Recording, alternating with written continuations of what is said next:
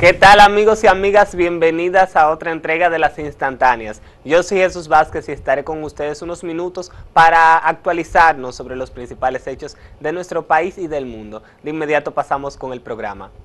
La jueza de la Oficina de Atención Permanente del Distrito Nacional, Fátima Veloz, impuso tres meses de prisión preventiva contra Santo Lora Vargas, quien está siendo acusado por la muerte de la niña Aishla Chanel Marte Paniagua, hija de su pareja sentimental. La medida deberá ser cumplida en el Centro de Corrección y Rehabilitación de Najayo, en la provincia de San Cristóbal. Al ser trasladado a la sala de audiencias, Santos Lora indicó que la culpable de la tragedia es la madre del adolescente.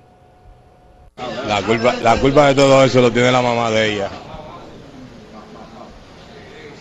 Por el contrario, Ángelo Fabián, tío de la menor, manifestó que su hermana había interpuesto una orden de alejamiento en contra de Santos Lora Vargas.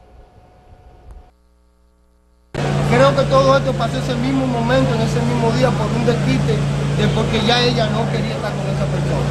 Él penetró a la vivienda y hizo lo que hizo porque no había personas en la vivienda. ¿Pero qué hay de cierto? ¿Hay una mentira, porque ella es mi hermana, que es abogada, pero ella no estaba enterada por el dolor que ella está sintiendo, está escuchando cosas, que alguien dice y ella está repitiendo lo que Nadie más que nosotros mismos podemos saber que eso es. Él todo lo que hizo, lo hizo en ese momento. ¿Qué esperan ustedes de este proceso? Yo quisiera que me lo entreguen, yo quisiera que él no caiga preso.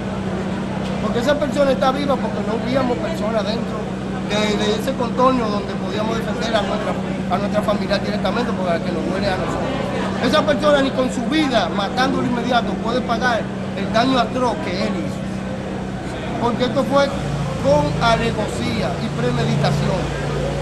Hay una ley por ahí que deberían de promulgarla, que está promulgada pero no la han aceptado. Para esta clase de cosas, esos animales depravados, depredadores, no deben de echarle la pena mínima. Como si fuera un, eso no fue un homicidio, eso no fue un accidente, eso fue algo atroz. Esto fue algo que, que- ninguna persona, ninguna persona lo hubiera hecho. Aunque él estuviera bajo el efecto que tuviera, él no iba, no iba a actuar en esa forma. Una persona con conciencia.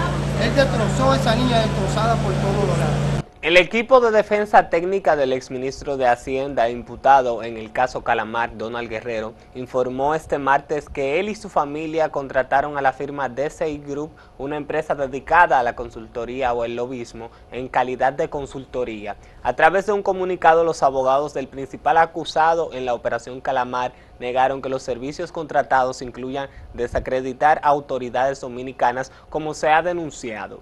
Los representantes del exfuncionario del gobierno del expresidente Danilo Medina afirmaron que la contratación de DCI Group se hizo porque Guerrero es un residente norteamericano con una larga trayectoria empresarial en Estados Unidos. La aclaración se da luego de que corriera la información de que Guerrero había contratado a esta compañía para desacreditar al presidente de la República, Luis Abinader, y a los principales representantes del Ministerio Público, en particular a la procuradora adjunta Jenny Berenice Reynoso. Guerrero es uno de los únicos exfuncionarios imputados en Calamar que se encuentra cumpliendo prisión preventiva desde marzo, cuando el Ministerio Público emprendió la operación que dio al traste con su detención.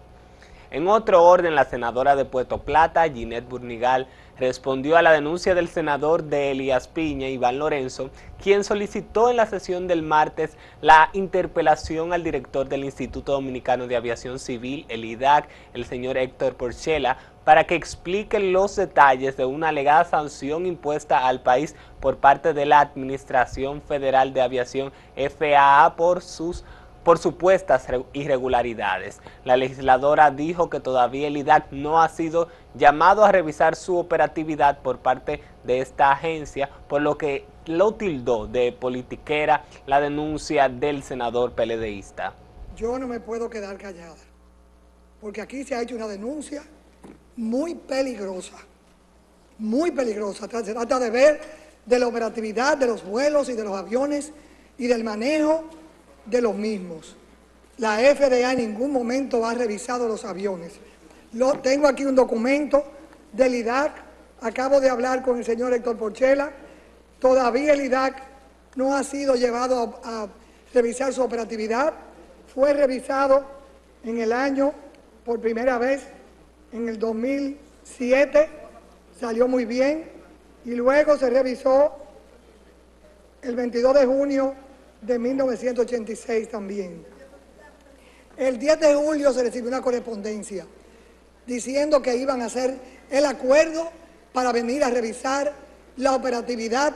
En ningún momento se habló de corrupción. En ningún momento. Eso es una falsedad y una mentira. Y eso es atentar contra la seguridad nacional, atentar contra el éxito del turismo de la República Dominicana que mi provincia liderea. Y eso yo no lo voy a permitir, por politiquería alta. Yo llamé al Porchelo ahora mismo y se va a poner de acuerdo con la FDA para ver qué día vienen a revisar la operatividad. Y siempre ha salido el país airoso, en el 86 y en el 2007. Entonces no es posible que venga aquí un senador de la República que se supone que quiere el país a ponerlo en peligro y a ponerlo en juego. Eso no es posible. La politiquería barata que se está usando aquí no es correcta. Entonces yo soy una mujer que me gusta coger la burra por los pelos. Y por eso llamé al director del IDAC. Entonces yo entiendo que eso no puede caber en el corazón de nosotros. Que ha sido felicitado por la Organización Mundial del Turismo, lo que hizo este gobierno y hazaña lo que ha dicho el gobernador del Banco Central, que lo dije la semana pasada, y una cantidad de países en Bruselas ahora mismo en el CELAC. Fue felicitado el presidente de la República por, por ser líder en la economía, este paisito.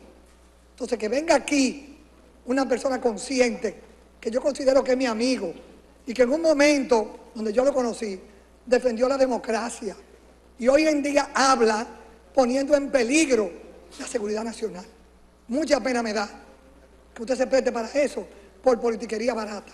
Muchas gracias, presidente. Un yate que compró el ex procurador general de la República, Yanalay Rodríguez, en el año 2017 por un valor de 720 mil dólares a una tasa de cambio de 55 pesos el dólar en ese momento representó un costo de 39 millones de pesos 600 mil, por lo que su adquisición superó el total de sus ingresos durante el periodo completo en el que se desempeñó como funcionario, es decir, 2012 a 2020. Según la acusación de la Procuraduría Especializada de Persecución a la Corrupción Administrativa PETCA en contra del exfuncionario y otros 63 acusados en la Operación Medusa, los ingresos anuales que declaró el imputado durante los años 2012-2020, luego de asumir la función pública, ascienden a un total de 27 millones 435 mil pesos, sin incluir ningún tipo de descuento por los gastos o egresos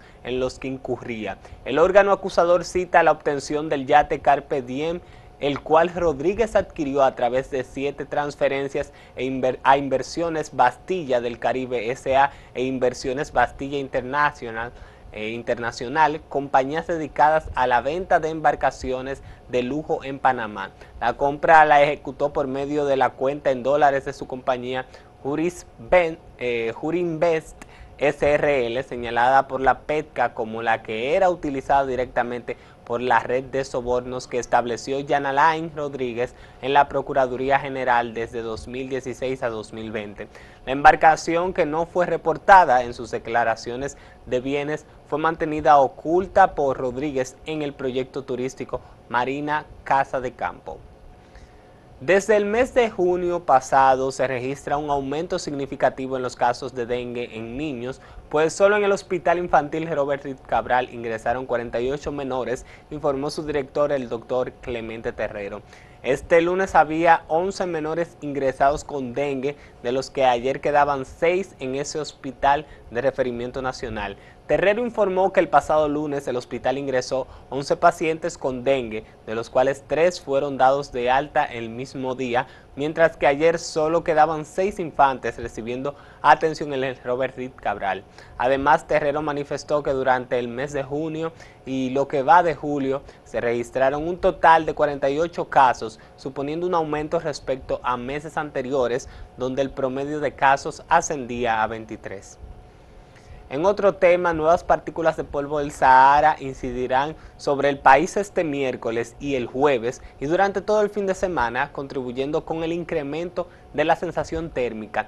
El predictor de la Oficina Nacional de Meteorología, Christopher Florian, explicó que las concentraciones de partículas de polvo del Sahara se presentarán en forma moderada, por lo que hizo una serie de recomendaciones. Llamó a las personas con afecciones respiratorias a utilizar sus debidas mascarillas y también a las personas en general a tomar suficientes líquidos y a no exponerse directamente a los rayos del sol por periodos prolongados sin protección solar entre las 11 de la mañana y las 4 de la tarde específicamente.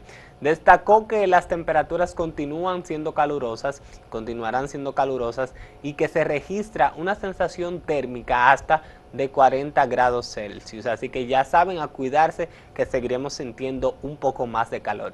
Es tiempo de realizar una breve pausa, pero en breve continuamos con las instantáneas.